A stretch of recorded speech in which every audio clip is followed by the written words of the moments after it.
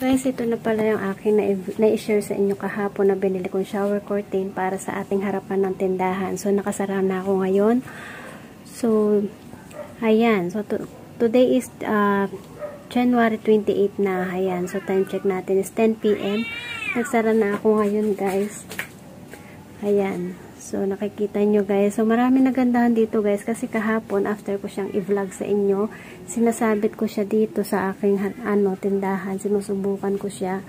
So, nakita ng mga nabiling mga customer ko. So, sobrang daming nagandahan nito guys. Napakaganda niya.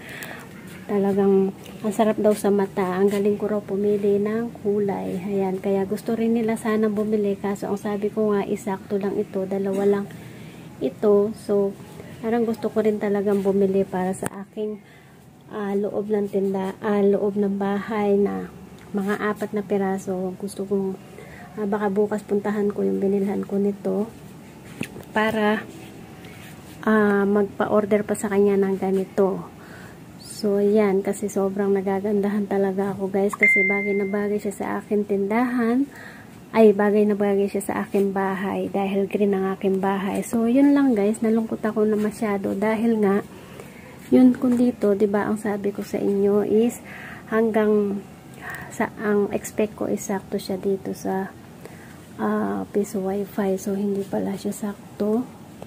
Ayan, so ang gagawin ko is magdadagdag pa ako dito ng karagdagan na ihaharang ko dito hanggang uh, lampas dito sa likod ng mga na hanggang dito sa likod ng piso wifi. So yun lang guys. So ba diba?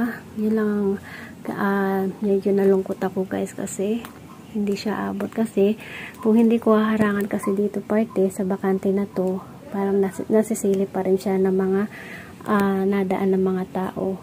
So, ayan siya guys So, ayan siya. Diba? Ang ganda niya. So, yun lang aking may share for today, guys. So, thank you for watching. See you on my next vlog. Bye-bye!